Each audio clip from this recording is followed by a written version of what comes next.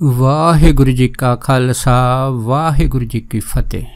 ਗੁਰੂ ਪਿਆਰੀ, ਗੁਰੂ ਸਵਾਰੀ ਪਰਮ ਸਤਕਾਰਯੋਗ ਸਾਧ ਸੰਗਤ ਜੀਓ, ਅੱਜ ਦਾਸ ਸੰਤ ਮਹਾਂਪੁਰਖ ਬਾਬਾ ਮਹਾ ਹਰਨਾਮ ਸਿੰਘ ਜੀ ਦੀ ਚੱਲ ਰਹੀ ਲੜੀਵਾਰ ਪ੍ਰਸੰਗ ਕਥਾ ਦੇ ਤਹਿਤ ਉਹਨਾਂ ਦੇ ਅਗਲੇ ਜੀਵਨ ਦਰਸ਼ਨਾਂ ਦੀ ਜੋ ਕੜੀ ਹੈ, ਆਪ ਜੀ ਦੇ ਨਾਲ ਸਾਂਝਾ ਕਰਦਾ ਹੈਗਾ। ਸੋ ਇੱਕ ਵਾਰ ਮਹਾਂਪੁਰਖਾਂ ਨੇ ਬਿਹਾਲ ਦਾਸ ਜੀ ਨੂੰ ਇਹ ਪੁੱਛਿਆ, ਕਹਿੰਦੇ ਬਿਹਾਲ ਦਾਸ ਵੀ ਇਹ ਦੱਸ ਕਿ ਤੇਰੇ ਮਨ 'ਚ ਕਿਤੇ ਇਹ ਸੋਚ ਤਾਂ ਨਹੀਂ ਚੱਲਦੀ ਕਿ ਮਹਾਂਪੁਰਖ ਜਿਹੜੇ ਹਨ, ਮੇਰੇ ਤੋਂ 24 ਘੰਟੇ ਅੱਠੇ ਪੈਰ ਕੰਮ ਕਰਾਉਂਦੇ ਰਹਿੰਦੇ ਆ, ਮੈਨੂੰ ਦੋ ਘੜੀਆਂ ਟਿਕਣ ਵੀ ਨਹੀਂ ਦਿੰਦੇ। ਤਾਂ ਫਿਰ ਸੰਤ ਬਿਹਾਲ ਦਾਸ ਜੀ ਕਹਿਣ ਲੱਗੇ, ਕਹਿੰਦੇ ਮਹਾਂਪੁਰਖੋ, ਜਦੋਂ ਦਿਨ ਚੜਦਾ ਨਾ ਨਵਾਂ, ਮੇਰੇ ਅੰਦਰ ਸੇਵਾ ਕਰਨ ਦਾ ਨਵਾਂ ਤਸ਼ਾ ਜਾਗਦਾ ਹੈਗਾ। ਤੇ ਮੈਂ ਮਨ 'ਚ ਇਹ ਸੋਚਦਾ ਹੁੰਦਾ ਕਿ ਮਹਾਂਪੁਰਖ ਅੱਜ ਮੈਨੂੰ ਕਿਹੋ ਜਿਹੀ ਸੇਵਾ ਦੇਣਗੇ। ਇਸ ਸੇਵਾ ਵਿੱਚ ਬੜਾ ਹੀ ਆਨੰਦ ਹੈ। ਜਿੰਨੀ ਮੈਂ ਸੇਵਾ ਕਰਦਾ ਉਹਨਾਂ ਸੇਵਾ ਕਰਨ ਦੀ ਹੋਰ ਜਿਹੜੀ ਸ਼ਕਤੀ ਹੈ, ਅੰਦਰ ਚਾਹ ਜਿਹੜਾ ਹੋਰ ਦੁੱਗਣਾ ਹੁੰਦਾ ਜਾਂਦਾ। ਜਦ ਮਹਾਂਪੁਰਖਾਂ ਨੇ ਇਸ ਤਰ੍ਹਾਂ ਦੀ ਜਿਹੜੀਆਂ ਗੱਲਾਂ ਕੀਤੀਆਂ ਸੀ ਫਿਰ ਸੰਤ ਮਹਾਂਪੁਰਖ ਬਾਬਾ ਹਰਨਾਮ ਸਿੰਘ ਜਿਹੜੇ ਸੀ, ਬੜੇ ਪ੍ਰਸੰਨ ਹੋਏ। ਉਹ ਕੇ ਕਹਿਣ ਲੱਗੇ, ਕਹਿੰਦੇ, ਬਿਹਾਲ ਦਾਸ, ਸੇਵਾ ਦਾ ਜਿਹੜਾ ਹੈ ਨਾ, ਫਲ ਹੈ, ਕਦੀ ਵਿਰਥਾ ਨਹੀਂ ਜਾਂਦਾ। ਕਹਿੰਦੇ, ਇੱਕ ਦਿਨ ਉਹ ਆਪਣੇ ਸਮਾਂ ਆਊਗਾ ਜਦੋਂ ਕਹਿੰਦੇ ਤੇਰੇ ਪਾਸ ਇੱਕ ਡੇਰਾ ਹੋਵੇਗਾ, ਇੱਕ ਤੇਰਾ ਆਪਣਾ ਘਰ ਹੋਵੇਗਾ, ਜਿੱਥੇ ਤੇਰੇ ਜਿਹੜੇ ਬਹੁਤ ਸਾਰੇ ਸੇਵਕ ਹੋਣਗੇ, ਤੇ ਜਿਵੇਂ ਤੂੰ ਸਾਡੀ ਸੇਵਾ ਕੀਤੀ ਇਸੇ ਤਰ੍ਹਾਂ ਤੇਰੀ ਉਹ ਸੇਵਾ ਕਰਨਗੇ। ਜਦ ਇੰਨੀ ਗੱਲ ਹੋਈ ਤਾਂ ਸੰਤ ਬਿਹਾਲ ਦਾਸ ਜੀ ਜਿਹੜੇ ਸੀਗੇ, ਇਹ ਸੁਣ ਕੇ ਜਿਹੜੇ ਸੀਗੇ, ਬੜੇ ਮਨ ਦੇ ਵਿੱਚ ਬਹੁਤ ਜ਼ਿਆਦਾ ਧੀਰਜ ਦੇ ਵਿੱਚ ਬੋਲੇ, ਕਹਿਣ ਲੱਗੇ, ਕਹਿੰਦੇ, ਮਹਾਂਪੁਰਖ, ਇਸ ਤਰ੍ਹਾਂ ਨਾ ਕਰੋ। ਮੈਨੂੰ ਤੁਸੀਂ ਆਪਣੇ ਚਰਨਾਂ ਦੇ ਵਿੱਚ ਰੱਖੋ, ਕਿਉਂਕਿ ਤੁਹਾਡੇ ਚਰਨਾਂ ਵਿੱਚ ਜੋ ਆਨੰਦ ਵਾ ਨਾ, ਉਹਦੇ ਵਰਗਾ ਆਨੰਦ ਤਾਂ ਜਿਹੜਾ ਹੈ ਨਾ, ਹੋਰ ਸੰਸਾਰ ਦੇ ਵਿੱਚ ਕਿਤੇ ਨਹੀਂ ਲੱਭਣਾ ਹੈਗਾ। ਤੇ ਇਸ ਕਰਕੇ ਤੁਸੀਂ ਮੈਨੂੰ ਆਪਣੇ ਤੋਂ ਦੂਰ ਨਾ ਕਰੋ। ਤੇ ਜਦ ਇੰਨੀ ਗੱਲ ਹੋਈ ਤਾਂ ਬਾਬਾ ਜੀ ਕਹਿਣ ਲੱਗੇ, ਕਹਿੰਦੇ ਬਿਹਾਲ ਦਾਸ ਉਹ ਵੀ ਇੱਕ ਸੇਵਾ ਹੀ ਆ, ਤੇਰੀ ਜ਼ਿੰਦਗੀ ਦੇ ਵਿੱਚ ਉਸ ਨਿਰੰਕਾਰ ਨੇ ਤੇਰੇ ਪਾਸੋਂ ਲੈਣੀ ਹੈਗੀ ਆ। ਸੋ ਤੂੰ ਇਸੇ ਸਰੀਰ ਦੇ ਵਿੱਚ ਰਹਿ ਕੇ ਜਿਹੜੀ ਹੈ ਨਾ, ਜਗ ਦੀ ਸੇਵਾ ਕਰਨੀ ਹੈਗੀ ਆ। ਇਹ ਵੀ ਸੇਵਾ ਜਿਹੜੀ ਹੈ ਨਾ, ਸਾਡੀ ਸੇਵਾ ਹੈਗੀ ਆ। ਇਸ ਤਰ੍ਹਾਂ ਮਹਾਂਪੁਰਖਾਂ ਨੇ ਹੈ ਨਾ, ਸੰਤ ਬਿਹਾਲ ਦਾਸ ਜੀ ਨੂੰ ਉਹ ਜੋ ਉਹ ਸੇਵਾ ਕਰਦੇ ਸੀਗੇ, ਨਿਰੰਤਰ ਇੱਕ ਮਨ ਇੱਕ ਚਿੱਤ ਦੇ ਨਾਲ, ਤੇ ਉਹਨਾਂ ਦੇ ਨਾਲ ਜਿਹੜੇ ਸੀਗੇ, ਇਸ ਤਰ੍ਹਾਂ ਦੇ ਬਚਨ ਕੀਤੇ ਸੀਗੇ। ਫਿਰ ਅਗਲੀ ਜਿਹੜੀ ਕਥਾ ਵਿਚਾਰ ਹੈ, ਉਹ ਪੰਡਤ ਸੰਤ ਰਾਮ ਜੀ ਹੋਏ ਆ ਪੁੱਚੋ ਕਲਾਂ ਦੇ। ਉਹਨਾਂ ਨੇ ਜਿਹੜੀ ਸੀ ਸਾਂਝੀ ਕੀਤੀ ਸੀ। ਉਹਨਾਂ ਨੇ ਦੱਸਿਆ ਸੀਗਾ ਕਿ ਇੱਕ ਵਾਰੀ ਜਦ ਮਹਾਂਪੁਰਖ ਜਿਹੜੇ ਸੀ ਨਾ ਰੂਮੀ ਆਸਣ ਦੇ ਉੱਤੇ ਬੈਠੇ ਸੀਗੇ ਤੇ ਉੱਥੇ ਆਲੇ ਦੁਆਲੇ ਦੇ ਜਿਹੜੇ ਬੱਚੇ ਉਹਨਾਂ ਟਾਈਮਾਂ ਦੇ ਵਿੱਚ ਪਸ਼ੂ ਚਾਰਦੇ ਹੁੰਦੇ ਸੀਗੇ, ਇਕੱਠੇ ਹੋ ਕੇ ਨਾ ਮਹਾਂਪੁਰਖਾਂ ਦੇ ਕੋਲ ਆ ਗਏ। ਜਦ ਆ ਗਏ ਤਾਂ ਉਹਨਾਂ ਨੂੰ ਦੇਖ ਕੇ ਸੰਤ ਬਾਬਾ ਮਹਾਰਨਾਮ ਸਿੰਘ ਜਿਹੜੇ ਸੀ ਬੜੇ ਪ੍ਰਸੰਨ ਹੋਏ। ਤੇ ਬੱਚਿਆਂ ਨੂੰ ਕਹਿਣ ਲੱਗੇ, ਕਹਿੰਦੇ ਦੱਸੋ ਬੱਚਿਓ, ਅੱਜ ਤੁਸੀਂ ਕੀ ਖਾਣਾ ਹੈ? ਤੇ ਸਾਰੇ ਬੱਚੇ ਇੱਕੋ ਵਾਰ ਬੋਲੇ, ਕਹਿੰਦੇ, ਬਾਬਾ ਜੀ, ਤੁਸੀਂ ਹੈ ਨਾ ਅੱਜ ਸਾਨੂੰ ਗੁੜ ਖਿਲਾਓ ਜਦ ਇੰਨੀ ਗੱਲ ਹੋਈ ਤਾਂ ਬਾਬਾ ਜੀ ਕਹਿਣ ਲੱਗੇ, ਕਹਿੰਦੇ, ਭਾਈ, ਗੁੜ ਤਾਂ ਜਿਹੜਾ ਹੈ ਨਾ ਪੁੱਚੋ ਮੰਡੀ ਤੋਂ ਜਿਹੜਾ ਆ ਰਿਹਾ ਹੈਗਾ। ਜਦ ਇਸ ਤਰ੍ਹਾਂ ਦੀ ਜਿਹੜੀ ਹੈ ਨਾ ਗੱਲ ਸੀਗੀ ਬਾਬਾ ਜੀ ਨੇ ਬੱਚਿਆਂ ਦੇ ਸਾਹਮਣੇ ਰੱਖੀ ਤੇ ਕੋਲ ਸੰਤ ਬਾਬਾ ਬਿਹਾਲ ਦਾਸ ਜੀ ਬੈਠੇ ਸੀ। ਤੇ ਕੀ ਤੱਕਿਆ ਕਿ ਉਧਰੋਂ ਹਨਾ, ਦੋ ਊਠਾਂ ਵਾਲੇ ਜਿਹੜੇ ਸੀਗੇ, ਉਧਰੋਂ ਆ ਰਹੇ ਸੀ।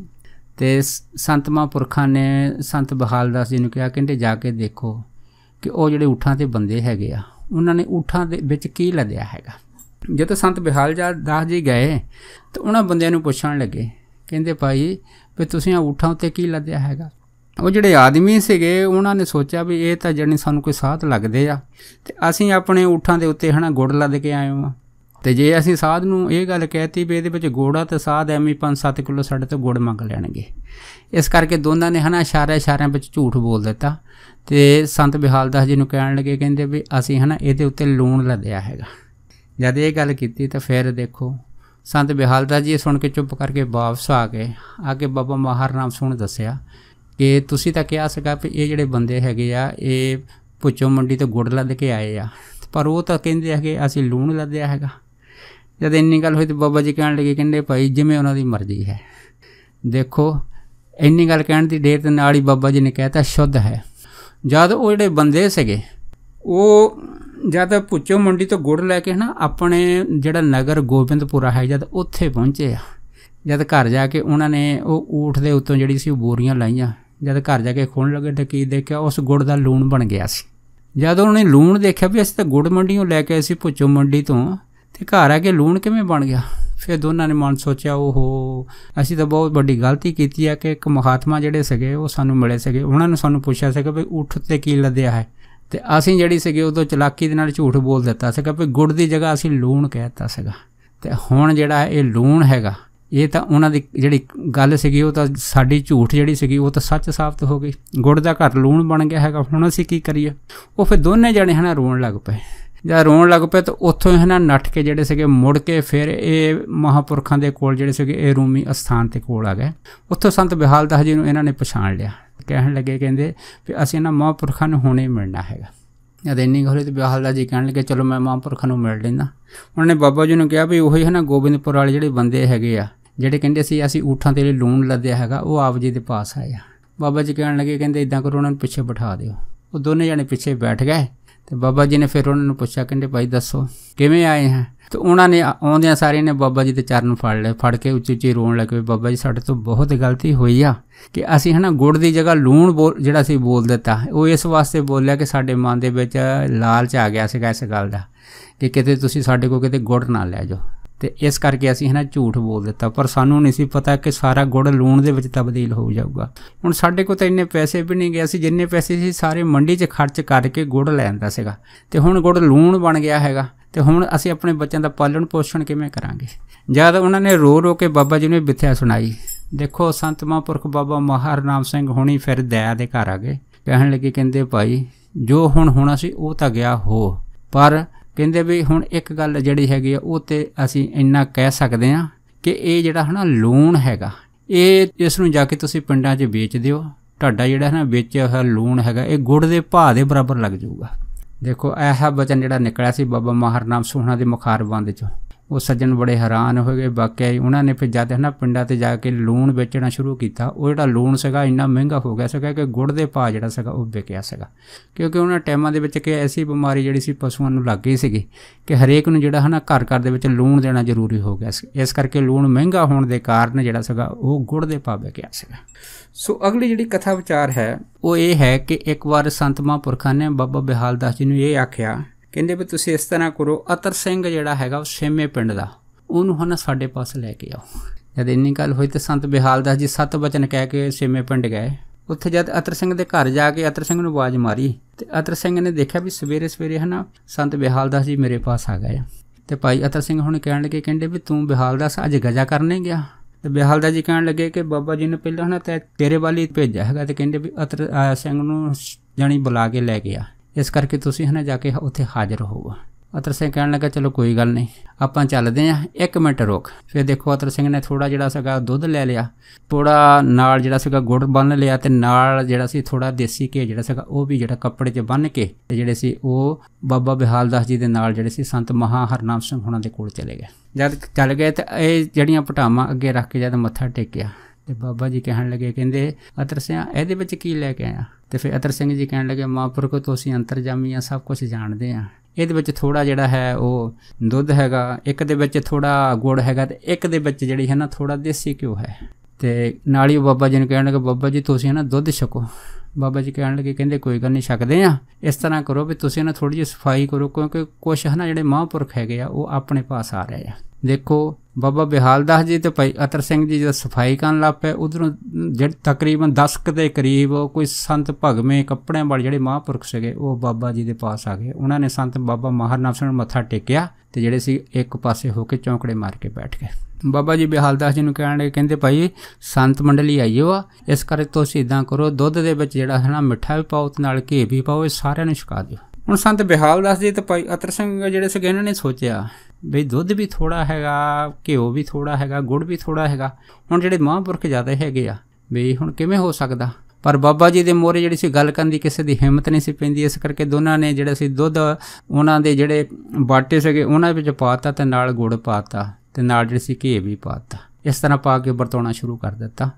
ਤੇ ਬਾਬਾ ਜੀ ਫੇ ਮਹਾਂਪੁਰਖਾਂ ਨੂੰ ਕਹਿੰਦੇ ਭਾਈ ਰਾਜ ਰਾਜ ਕੇ ਪੀਵੋ। ਦੇਖੋ ਜਿੰਨੀ ਵੀ ਸੰਤ ਮੰਡਲੀ ਸੀ, ਪੂਰੀ ਦੁੱਧ ਪੀ ਕੇ ਦੇਸੀ ਘੀ ਵਿੱਚ ਪਾਇਆ ਹੋਇਆ ਤੇ ਵਿੱਚ ਗੁੜ ਪਾਇਆ ਹੋਇਆ, ਜਿਹੜੀ ਸੀ ਜਦ ਪੂਰੀ ਤਰ੍ਹਾਂ ਤ੍ਰਿਪਤ ਹੋਈ। ਉਹਨਾਂ ਨੇ ਫਿਰ ਸੰਤ ਮੰਡਲੀ ਨੇ ਕਹਿਤਾ ਸੀ, ਬਾਬਾ ਜੀ ਵੀ ਹੁਣ ਤੁਸੀਂ ਬਸ ਕਰੋ, ਅਸੀਂ ਹਨਾ ਕਈਆਂ ਦਿਨਾਂ ਦੇ ਭੁੱਖੇ ਸੀਗੇ, ਪਰ ਸਾਡੀ ਜਿਹੜੀ ਇੱਛਾ ਸੀਗੀ ਹਨਾ, ਉਹ ਸਾਡੀ ਇੱਛਾ ਦੀ ਪੂਰਤੀ ਹੋ ਗਈ ਆ। ਹੁਣ ਤੁਸੀਂ ਸਾਨੂੰ ਛੁੱਟੀਆਂ ਦੇ ਦਿਓ। ਤੇ ਸੰਤ ਬਾਬਾ ਬਿਹਾਲ ਦਾਸ ਜੀ ਕਹਿਣ ਲੱਗੇ, ਕਹਿੰਦੇ ਭਾਈ, ਤੁਸੀਂ ਇਸ ਤਰ੍ਹਾਂ ਕਰੋ ਵੀ ਇਹਨਾਂ ਨੂੰ ਹਨਾ ਜਿਹੜਾ ਕੁਝ ਟਾਈਮ ਹਨਾ, ਬਾਹਰ ਛੱਡ ਕੇ ਜਿਹੜੇ ਸੀ, ਉਹਨਾਂ ਨੂੰ ਵਿਦਾ ਕਰਿਓ। ਦੇਖੋ ਬਿਹਾਲ ਦਾਸ ਜੀ ਚਲੇ ਗਏ ਤੇ ਜਦ ਚਲੇ ਗਏ ਤੇ ਸੰਤ ਮਹਾਂਪੁਰਖ ਮੰਡਲੀ ਨੇ ਜਿਹੜਾ ਸੀਗਾ ਉਹ ਆਪਸ ਵਿੱਚ ਬਿਹਾਲ ਦਾਸ ਨੂੰ ਇਹ ਗੱਲ ਆਖੀ। ਕਹਿੰਦੇ ਬਿਹਾਲ ਦਾਸ ਕਿ ਜਿਹੜੇ ਮਹਾਂਪੁਰਖ ਹੈਗੇ ਆ, ਇਹ ਮੂੰਹ ਤੇ ਕੱਪੜਾ ਕਿਉਂ ਬੰਨ ਕੇ ਰੱਖਦੇ ਆ?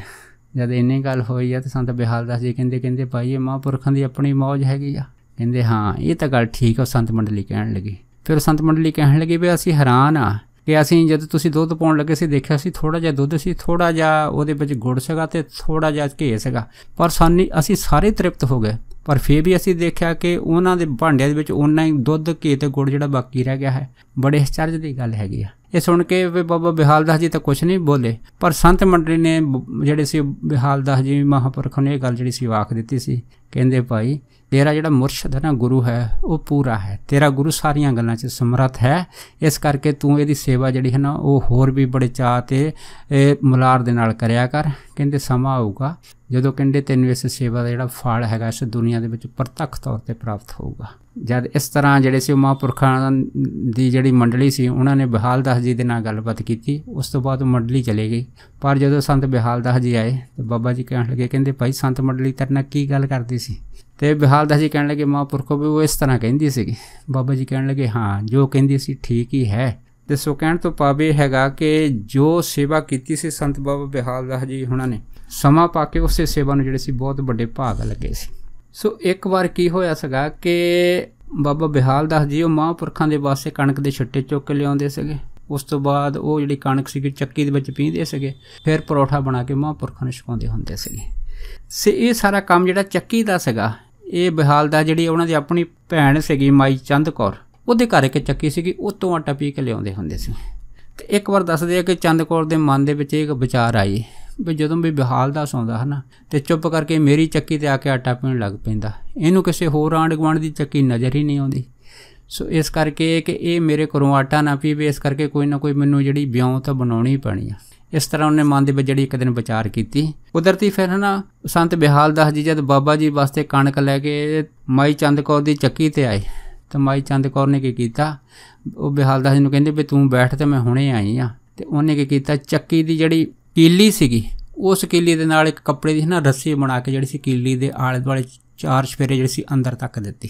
ਜਦ ਅੰਦਰ ਤੱਕ ਦਿੱਤੀ, ਤੇ ਫਿਰ ਦੇਖੋ ਜਦੋਂ ਬਾਬਾ ਬਿਹਾਲ ਦਾਸ ਜੀ ਚੱਕੀ ਤੇ ਬੈਠ ਕੇ ਜਦ ਦਾਣੇ ਪਾ ਕੇ ਚੱਕੀ ਪੀਣ ਲੱਗੇ ਤੇ ਜਦ ਚੱਕੀ ਪੀਣ ਲੱਗੇ ਤੇ ਉਹਨਾਂ ਨੇ ਕੀ ਦੇਖਿਆ ਵੀ ਚੱਕੀ ਦੇ ਜਿਹੜੇ ਆਟੇ ਨਿਕਲਣ ਦੀ ਜਗ੍ਹਾ ਹਨਾ, ਦਲੀਆ ਬਣ ਬਣ ਬਾਹਰ ਆਈ ਜਾਂਦਾ।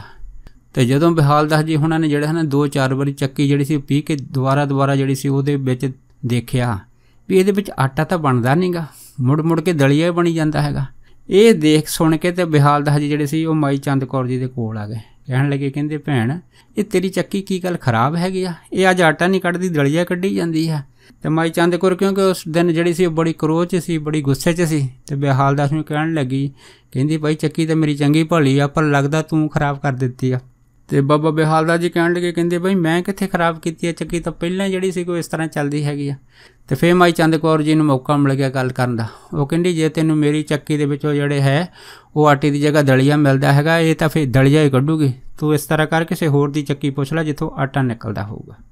ਜਦ ਇਹ ਜਿਹੜੇ ਸੀ ਨਾ ਕੋੜੇ ਬਚਨ ਮਾਈ ਚੰਦ ਕੌਰ ਜੀ ਨੇ ਬਾਬਾ ਬਿਹਾਲ ਦਾਸ ਜੀ ਨੂੰ ਬੋਲ ਦਿੱਤੇ। ਇਹ ਸੁਣ ਕੇ ਬਾਬਾ ਬਿਹਾਲ ਦਾਸ ਜੀ ਤੇ ਚੁੱਪ ਕਰ ਗਏ।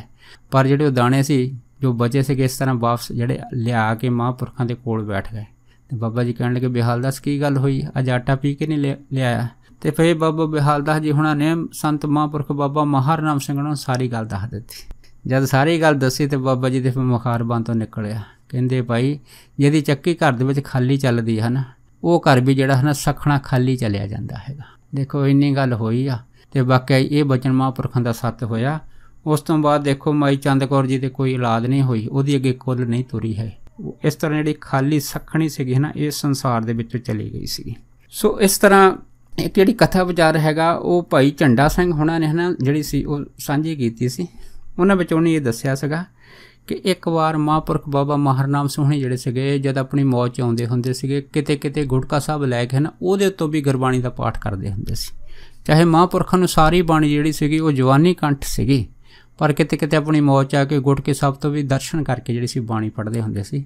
ਇੱਕ ਦਿਨ ਬਾਬਾ ਮਹਾਰਨਾਮ ਸੋਹਣੀ ਜਿਹੜੇ ਸੀ, ਆਪਣੀ ਮੌਤ ਦੇ ਵਿੱਚ ਗੁਟਕੇ ਸਾਹਿਬ ਤੋਂ ਬਾਣੀ ਪੜ੍ਹਦੇ ਪੜ੍ਹਦੇ ਜਦ ਬਹੁਤ ਰਸ ਦੇ ਵਿੱਚ ਚਲੇ ਗਏ।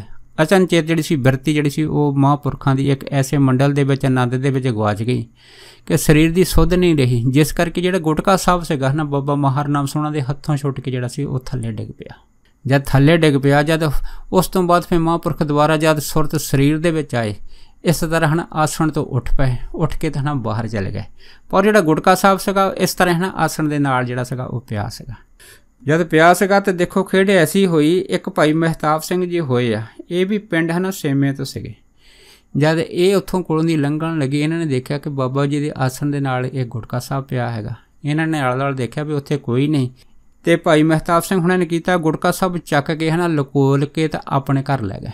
ਜਦ ਘਰ ਲੈ ਗਏ ਤੇ ਉਸ ਤੋਂ ਬਾਅਦ ਸ਼ਾਇਦ ਬਾਬਾ ਜੀ ਜਿਹੜੇ ਸੀਗੇ, ਉਹ ਬਾਬਾ ਮਹਰਨਾਮ ਸੁਣੀ ਜਦ ਆਪਣੇ ਆਸਣ ਤੇ ਆਏ ਤੇ ਉਹਨਾਂ ਨੇ ਸੰਤ ਬਹਾਲ ਦਾਸ ਜੀ ਨੂੰ ਜਿਹੜਾ ਸੀ ਉਹ ਪੁੱਛਿਆ, ਕਹਿੰਦੇ ਭਾਈ ਇੱਥੇ ਗੁਟਕਾ ਸਾਹਿਬ ਪਿਆ ਸੀ, ਕਿੱਧਰ ਗਿਆ? ਤੇ ਬਾਬਾ ਬਹਾਲ ਦਾਸ ਜੀ ਕਹਿੰਦੇ ਕਹਿੰਦੇ ਮਹਾਂਪੁਰਖ, ਵੀ ਮੈਨੂੰ ਤਾਂ ਇਹਦੇ ਬਾਰੇ ਕੋਈ ਜਾਣਕਾਰੀ ਨਹੀਂ ਹੈਗੀ ਆ। ਤੁਸੀਂ ਆਪ ਹੀ ਤੁਹਾਨੂੰ ਸਭ ਕੁਝ ਪਤਾ ਹੈ। ਜਦ ਇੰਨੀ ਗੱਲ ਹੋਈ ਤਾਂ ਬਾਬਾ ਜੀ ਸੁਣ ਕੇ ਹੱਸ ਪਏ। ਹੱਸ ਕੇ ਕਹਿਣ ਲੱਗੇ, ਲੈ ਵੀ ਬਿਹਾਲ ਦਾਸ, ਲੱਗਦਾ ਆਪਣਾ ਜਿਹੜਾ ਗੁਟਕਾ ਸਾਹਿਬ ਹੈ ਨਾ, ਮਹਿਤਾਬ ਸਿੰਘ ਲੈ ਗਿਆ ਆਪਣੇ ਘਰ ਚੱਕ ਕੇ। ਤੂੰ ਇਸ ਤਰ੍ਹਾਂ ਕਰ, ਉਹਦੇ ਘਰ ਚਲਿਆ ਜਾ ਤੇ ਉੱਥੋਂ ਨੇ ਗੁਟਕਾ ਸਾਹਿਬ ਚੱਕ ਕੇ ਲੈ ਕੇ ਇੱਥੇ ਆ। ਜਦ ਇੰਨੀ ਗੱਲ ਹੋਈ ਤੇ ਸੰਤ ਬਿਹਾਲ ਦਾਸ ਜੀ ਸਤ ਵਜਨ ਕਰਕੇ ਭਾਈ ਮਹਿਤਾਬ ਸਿੰਘ ਦੇ ਘਰ ਚਲੇ ਗਏ। ਜਦ ਘਰ ਚਲ ਗਿਆ ਤੇ ਉੱਥੇ ਘਰ ਜਾ ਕੇ ਮਹਤਾਬ ਸਿੰਘ ਨੂੰ ਕਿਹਾ ਕਿ ਤੂੰ ਮਹਾਂਪੁਰਖਾਂ ਨੇ ਮੈਨੂੰ ਭੇਜਿਆ ਹੈ। ਉਹਨੇ ਕਿਹਾ ਵੀ ਤੂੰ ਗੁਟਕਾ ਸਾਹਿਬ ਜਿਹੜਾ ਉਹਨਾਂ ਦਾ ਹੈਗਾ ਆਪਣੇ ਘਰ ਚੱਕ ਕੇ ਲੈ ਆ। ਇਸ ਕਰਕੇ ਤੂੰ ਉਹਨਾਂ ਦਾ ਹਨਾ ਗੁਟਕਾ ਸਾਹਿਬ ਜਿਹੜਾ ਘਰ ਲਿਆਂਦਾ ਵਾਪਸ ਕਰ ਦੇ। ਜਦ ਇੰਨੀ ਗੱਲ ਹੋਈ ਤੇ ਮਹਤਾਬ ਸਿੰਘ ਜਿਹੜਾ ਸੀਗਾ, ਉਹ ਸਾਰੀ ਗੱਲ ਸੁਣ ਕੇ ਜਿਹੜਾ ਸੀਗਾ ਬਿਲਕੁਲ ਕੋਰਾ ਝੂਠ ਬੋਲ ਗਿਆ ਤੇ ਕਹਿਣ ਲੱਗਾ ਕਿ ਮੈਂ ਤਾਂ ਕੋਈ ਗੁਟਕਾ ਸਾਹਿਬ ਚੱਕ ਕੇ ਨਹੀਂ ਲਿਆਂਦਾ ਹੈਗਾ। ਮੈਨੂੰ ਕੀ ਲੋੜ ਹੈ? ਜਦ ਇਸ ਤਰ੍ਹਾਂ ਦੇ ਜਿਹੜੇ ਉੱਚੇ ਨੀਵੇਂ ਬਚਨ ਜਿਹੜੇ ਸੀਗੇ, ਉਹ ਸੰਤ ਬਿਹਾਲ ਦਾ ਹਜੇ ਨੂੰ ਵੀ ਬੋਲ ਦਿੱਤੇ। ਤੇ ਬਾਬਾ ਬਿਹਾਲ ਦਾਸ ਜਿਹੜੇ ਸੀ ਚੁੱਪ ਕਰ ਗਏ। ਤੇ ਜਦ ਵਾਪਸ ਆਏ, ਤਾਂ ਕਿ ਮਹਾਂਪੁਰਖਾਂ ਨੂੰ ਸਾਰੀ ਗੱਲ ਜਿਹੜੀ ਸੀ ਖੋਲ ਕੇ ਦੱਸ ਦਿੱਤੀ। ਜਦ ਖੋਲ ਕੇ ਦੱਸੀ ਤੇ ਬਾਬਾ ਜੀ ਕਹਿਣ ਲੱਗੇ, ਕਹਿੰਦੇ, ਚੱਲ ਫਿਰ ਠੀਕ ਹੈ। ਹੁਣ ਕਹਿੰਦੇ, ਬਿਹਾਲ ਦਾਸ, ਤੂੰ ਇਸ ਤਰ੍ਹਾਂ ਕਰ, ਦੁਬਾਰਾ ਹਨਾ ਮਹਿਤਾਬ ਸਿੰਘ ਦੇ ਘਰ ਜਾ। ਘਰ ਜਾ ਕੇ ਕਹਿੰਦੇ, ਉੱਥੇ ਠਹਿਰਨਾ ਨਹੀਂ, ਬਸ ਉਹਦੇ ਵਿਹੜੇ ਦੇ ਵਿੱਚ ਹਨਾ ਜਿਹੜਾ ਸੀਗਾ, ਆਪਣਾ ਪੈਰ ਰੱਖ ਕੇ ਵਾਪਸ ਆ ਜੀ। ਜਦ ਇੰਨੀ ਗੱਲ ਹੋਈ, ਬਾਬਾ ਬਿਹਾਲ ਦਾਸ ਜੀ ਵਾਪਸ ਫੇਰ ਭਾਈ ਮਹਿਤਾਬ ਸਿੰਘ ਦੇ ਘਰ ਗਏ। ਜਦ ਘਰ ਪਹੁੰਚੇ ਆ ਤੇ ਘਰ ਜਾ ਕੇ ਵਿਹੜੇ ਦੇ ਵਿੱਚ ਜਿਹੜਾ ਸੀਗਾ ਉਹ ਹਲਕਾ ਜਿਹਾ ਜਿਹੜਾ ਸੀ ਚੱਕਰ ਮਾਰ ਕੇ ਵਾਪਸ ਬਿਨਾਂ ਬੋਲੇ ਜਿਹੜੇ ਸੀ ਮਹਾਂਪੁਰਖਾਂ ਕੋ ਆ ਗਏ। ਜਦ ਆ ਗਏ, ਜਿਉਂ ਹੀ ਜਦ ਬਾਬਾ ਜੀ ਦੇ ਪਾਸ ਜਿਹੜੇ ਸੀਗੇ ਪਸੰਦ ਬਿਹਾਲ ਦਾਸ ਜੀ ਪਹੁੰਚੇ, ਉੱਥੇ ਮਤਾਬ ਸਿੰਘ ਦੇ ਘਰ ਦੇ ਵਿੱਚ ਰੱਖੇ ਪਾਣੀ ਦੇ ਜਿਹੜੇ ਘੜੇ ਸੀਗੇ, ਉਹ ਸਾਰੇ ਜਿਹੜੇ ਸੀ ਉਹ ਤੜਕ ਤੜਕ ਕਰਕੇ ਜਿਹੜੇ ਸਾਰੇ ਭੱਜ ਗਏ। ਜਦ ਤੜਕ ਤੜਕ ਕਰਕੇ ਸਾਰੇ ਘੜੇ ਭੱਜ ਗਏ ਤਾਂ ਸਾਰਾ ਪਾਣੀ ਡੁੱਲ ਗਿਆ ਤਾਂ ਫਿਰ ਭਾਈ ਮਹਿਤਾਬ ਸਿੰਘ ਨੇ ਇਹ ਖੜਕਾ ਸੁਣ ਲਿਆ ਤੇ ਉਹਦੀ ਘਰ ਵਾਲੀ ਨੇ ਬੱਚਿਆਂ ਨੇ ਵੀ ਸੁਣਿਆ। ਉਹਨੇ ਦੇਖਿਆ ਵੀ ਇਹ ਸਾਡੇ ਘੜੇ ਜਿਹੜੇ ਸੀ, ਆਪਣੇ ਆਪ ਕਿਦਾਂ ਭੱਜ ਗਏ। ਪਰ ਫਿਰ ਭਾਈ ਮਹਿਤਾਬ ਸਿੰਘ ਨੂੰ ਮਨ ਦੇ ਵਿੱਚ ਇਸ ਗੱਲ ਦੀ ਜਿਹੜੀ ਸੀ, ਉਹ ਆਪਣੀ ਗਲਤੀ ਦੀ ਜਿਹੜੀ ਬੜੀ ਸ਼ਰਮਿੰਦਗੀ ਹੋਈ ਕਿ ਮੈਂ ਮਹਾਂਪੁਰਖਾਂ ਦਾ ਗੁਟਕਾ ਸਭ ਚੋਰੀ ਜਿਹੜਾ ਸੀ ਘਰ ਲਿਆ ਕੇ ਰੱਖ ਲਿਆ ਹੈਗਾ। ਤੇ ਮਹਾਂਪੁਰਖਾਂ ਦੇ ਸਨੇਹ ਦੇ ਉੱਤੇ ਵੀ ਮੈਂ ਕੋਰਾ ਝੂਠ ਬੋਲ ਰਿਹਾ ਹੈਗਾ। ਤੇ ਜਿਸ ਕਰਕੇ ਆ ਜਿਹੜੀ ਸਜ਼ਾ ਹੈ ਨਾ ਪਾਣੀ ਦੀ, ਇਹ ਮੈਨੂੰ ਭੁਗਤਣੀ ਪੈ ਗਈ ਆ। ਇਹ ਸੋਚ ਕੇ ਭਾਈ ਮਹਿਤਾਬ ਸਿੰਘ ਜਿਹੜਾ ਫਿਰ ਨੱਠਾ ਗਿਆ ਬਾਬਾ ਮਹਾਰ ਨਾਮ ਸੁਣਨ ਦੇ ਚਰਨਾਂ ਦੇ ਵਿੱਚ। ਜਦ ਕਿਹਾ ਤੇ ਉੱਥੇ ਜਾ ਕੇ ਜਦ ਹਨਾ ਉੱਚੀ ਉੱਚੀ ਰੋਣ ਲੱਗ ਪਿਆ। ਤੇ ਰੋਂਦਾ ਰੋਂਦਾ ਕਹਿਣ ਲੱਗਾ, ਮਹਾਂਪੁਰਖੋ, ਵੀ ਮੈਂ ਤੁਹਾਡੇ ਗੁਟਕੇ ਸਾਹਿਬ ਦੀ ਚੋਰੀ ਕੀਤੀ ਆ। ਗੁਟਕਾ ਸਾਹਿਬ ਮੇਰੇ ਪਾਸ ਹੀ ਆ। ਮੈਂ ਹਨਾ ਆਪ, ਆ ਦੇਖੋ ਗੁਟਕਾ ਸਾਹਿਬ, ਆਪ ਹੱਥੀ ਲੈ ਕੇ ਆਇਆ। ਤੇ ਬਾਬਾ ਜੀ ਫੇ ਭਾਈ ਮਹਤਾਬ ਨੂੰ ਕਹਿਣ ਲੱਗੇ, ਵੀ ਤੂੰ ਤਾਂ ਇਹ ਕਹਿੰਦਾ ਸੀਗਾ, ਗੁਟਕਾ ਸਾਹਿਬ ਮੇਰੇ ਪਾਸ ਹੀ ਨਹੀਂ ਆ। ਹੁਣੇ ਗੁਟਕਾ ਸਾਹਿਬ ਤੇਰੇ ਪਾਸੋਂ ਕਿੱਥੋਂ ਆਇਆ? ਭਾਈ ਮਹਤਾਬ ਸਿੰਘ ਜੀ ਕਹਿੰਦੇ ਕਹਿੰਦੇ, ਭਾਈ ਮੈਂ ਲਾਲਚ ਵਿੱਚ ਆ ਗਿਆ ਸੀਗਾ। ਇਸ ਕਰਕੇ ਮੇਰੇ ਤੋਂ ਗਲਤੀ ਹੋ ਗਈ। ਮੈਂ ਹੈ ਨਾ ਕੋਰਾ ਝੂਠ ਜਿਹੜਾ ਸੀਗਾ, ਆਪ ਜੀ ਨੂੰ ਬੋਲ ਦਿੱਤਾ ਸੀਗਾ। ਪਰ ਮੈਨੂੰ ਨਹੀਂ ਸੀ ਪਤਾ ਕਿ ਮੇਰੇ ਨਾਲ ਆਹ ਹਾਲਤ ਹੋ ਗਈ। ਕਿਉਂਕਿ ਅਗਰ ਘਰ 'ਚ ਪਾਣੀ ਨਹੀਂ ਹੋਊਗਾ, ਤੇ ਫਿਰ ਪਾਣੀ ਤੋਂ ਬਿਨਾ ਘਰ ਦਾ ਜਿਹੜਾ ਸਾਰਾ ਗੁਜ਼ਾਰਾ ਕਿਵੇਂ ਚੱਲੂਗਾ? ਜਦ ਇੰਨੀ ਗੱਲ ਹੋਈ ਤੇ ਦੇਖੋ ਬਾਬਾ ਜੀ ਸੇ ਫਿਰ ਦਇਆ ਦੇ ਘਰ ਆਏ ਸੀ। ਫਿਰ ਮਤਾਬ ਸਿੰਘ ਨੂੰ ਕਹਿਣ ਲੱਗੇ, ਕਹਿੰਦੇ, ਦੇਖ ਭਾਈ, ਮੁੜ ਕੇ ਇਸ ਤਰ੍ਹਾਂ ਦੀ ਚੋਰੀ ਜਿਹੜੀ ਨੇ ਜ਼ਿੰਦਗੀ ਦੇ ਵਿੱਚ ਤੈਂ ਕਿਤੇ ਨਹੀਂ ਕਰਨੀ। ਇਹ ਜਿਹੜਾ ਤੂੰ ਬਚਨ ਪ੍ਰਾਣ ਹੈ ਨਾ, ਇਹਦੇ ਤੇ ਪਹਿਰਾ ਦੇਣਾ ਹੈਗਾ। ਫਿਰ ਮਤ ਭਾਈ ਮਹਤਾਬ ਸਿੰਘ ਨੇ ਆਪਣੇ ਕੰਨਿਆਂ ਨੂੰ ਹੱਥ ਲੈ ਕੇ ਕਹਿਣ ਲੱਗਾ ਬਾਬਾ ਜੀ, ਅੱਜ ਤੋਂ ਮੈਂ ਹਨਾ ਜਿਹੜੀ ਚੋਰੀ ਆ ਕਦੀ ਜ਼ਿੰਦਗੀ ਵਿੱਚ ਨਹੀਂ ਕਰਾਂਗਾ। ਇਹ ਮੈਂ ਜਿਹੜਾ ਹਨਾ ਬਚਨ ਆਪ ਜੀ ਦੇ ਨਾਲ ਕਰਦਾ ਕਿਉਂਕਿ ਭਾਈ ਮਹਤਾਬ ਸਿੰਘ ਦੀ ਜਿਹੜੀ ਸੀਗੀ ਆਦਤ ਇਸ ਤਰ੍ਹਾਂ ਦੀ ਸੀਗੀ ਕਿ ਜਿੱਥੇ ਵੀ ਕੋਈ ਚੀਜ਼ ਦੇਖਦੇ ਸੀਗੇ ਹਨਾ ਉੱਥੋਂ ਚੋਰੀ ਚੱਕ ਕੇ ਆਪਣੇ ਘਰ ਲੈ ਆਉਂਦੇ ਸੀਗੇ। ਸੋ ਉਹਦੀ ਇਹ ਆਦਤ ਹਟਾਉਣ ਵਾਸਤੇ ਬਾਬਾ ਜੀ ਨੇ ਅਸੀਂ ਜਿਹੜੀ ਲੀਲਾ ਰਚੀ ਸੀ ਕਿ ਪਾਠ ਕਰਦਿਆਂ ਕਰਦਿਆਂ ਗੁਟਕਾ ਜਿਹੜਾ ਸੀਗਾ ਹਨਾ, ਉਹ ਆਪ ਹੀ ਆਪਣਾ ਜਿਹੜਾ ਆਸਣ ਸੀਗਾ, ਉਹਦੇ ਪਾਸ ਜਿਹੜਾ ਸੀਗਾ, ਉਹ ਗਰਾਤਾ ਸੀਗਾ, ਉੱਥੇ ਰੱਖ ਦਿੱਤਾ ਸੀਗਾ। ਸੋ ਭਾਈ ਮਹਤਾਬ ਸਿੰਘ ਜਦ ਘਰ ਲੈ ਕੇ ਗਿਆ ਸੀ, ਉਹਦੀ ਚੋਰੀ ਛਡਾਉਣ ਵਾਸਤੇ ਬਾਬਾ ਜੀ ਨੇ ਫਿਰ ਆ ਜਿਹੜੀ ਘੜਿਆਂ ਦੀ ਖੇਡ ਖੇਡੀ ਸੀ, ਇਹਦੇ ਵਿੱਚ ਫਿਰ ਭਾਈ ਮਹਤਾਬ ਸਿੰਘ ਨੂੰ ਜਿਹੜੀ ਹੈ ਨਾ ਨਸੀਹਤ ਹੋ ਗਈ ਸੀ। ਜਦੋਂ ਭਾਈ ਮਹਤਾਬ ਸਿੰਘ ਹੁਣਾਂ ਨੇ ਆਪਣੀ ਭੁੱਲ ਬਖਸ਼ਾਈ, ਤੇ ਫਿਰ ਬਾਬਾ ਜੀ ਨੇ ਭਾਈ ਮਹਤਾਬ ਸਿੰਘ ਨੂੰ ਇਹ ਗੱਲ ਆਖੀ ਆ, ਕਹਿੰਦੇ ਭਾਈ, ਅੱਜ ਤੋਂ ਬਾਅਦ ਤੇ ਜਿੰਨੀਆਂ ਤੇਰੀਆਂ ਸਜ਼ਾਵਾਂ ਸੀਗੀਆਂ, ਜੋ ਤੈਂ ਚੋਰੀਆਂ ਕੀਤੀਆਂ ਸੀ ਸਾਰੀਆਂ ਚੋਰੀਆਂ ਨੂੰ ਜਿਹੜਾ ਹੈ ਨਾ, ਅਸੀਂ ਤੈਨੂੰ ਬਖਸ਼ ਦਿੱਤਾ ਹੈਗਾ।